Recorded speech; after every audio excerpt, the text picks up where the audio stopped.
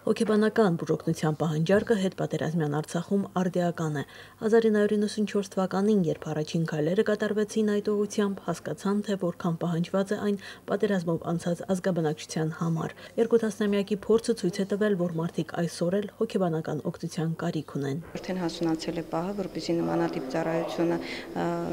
ընդլայնվի եւ արդեն անցնի ոչ միայն պետական սեկտորից, անցնի նաեւ մասնավոր սեկտորը, որովհետեւ պահանջարկը կա բնակչության բնակչության մոտ զանազան խնդիրներ կան, թե հոգեբանական եւ մեր գլխավոր նպատակը նա է, որպեսզի մենք կանխենք, որպեսզի այդ խնդիրները վերջացվեն լուրջ հոգեկան կամ նյարդաբանական խնդիրների։ Ընդգրկելու ենք նա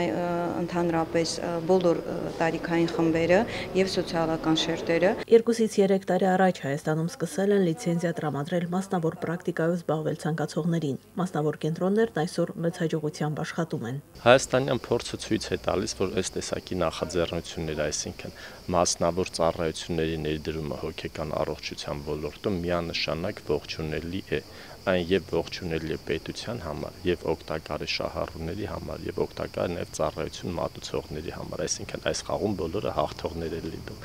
հիմա Ղարաբաղում ներդրման առումով միանշանակ այստեղ հաջողությունը երաշխավորված պետք է լինի, որովհետև նախ կա արդեն մշակված փորձը, որը Հայաստանն է կիրառվել։ Երկրորդը կան մարդիկ, որոնք շահագրգիռ են այս աշխատանքում։ Ստեփանակերտի կենտրոնում կաշխատեն հայաստանյան գործընկերների հետ համագործակցությամբ։ Վճարունակ քաղաքացիները մատուցված ծառայությունների համար կվճարեն, իսկ հա սոցիալապես խոցելի խավի ծախսերը կփոխհատուցի պետությունը։ Նախատեսվում է, որպիսի բոլոր հաշմանդամները, հաշմանդամ երեխաները եւ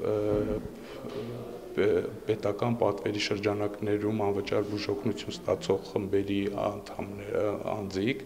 միևնույն ժամանակ մենք կարծում ենք որ պետք է հնարավորություն ընձեռնվի այդ հիվանդների ընտանիքների անդամները նույնպես կարողանան օգտվել այս հոգեբանական կենտրոնի ծառայություններից դրա համար հաշմանդամների եւ հաշմանդամ երեխաների ընտանիքի անդամներին նույնպես մենք կփորձենք օգնություն հնարավորություն տալ օգտվել այս կենտրոնի ծառայություններից որովհետեւ ընտանիքում ունենալ հաշմանդամ եւ հաշմանդամ երեխա դա կարծես թե միայն հաշմանդամի հիվանդի խնդիրը չի դա արդեն հոգեբանական խնդիր է դառնում ողջ ընտանիքի անդամների համար եւ այսպիսի կենտրոնները պետք է կոչված լինեն նաեւ այդ ընտանիքի անդամներին օգնություն ցուցաբերեն Մարինա Մկրչյան, Հովիկ Արաքելյան, օր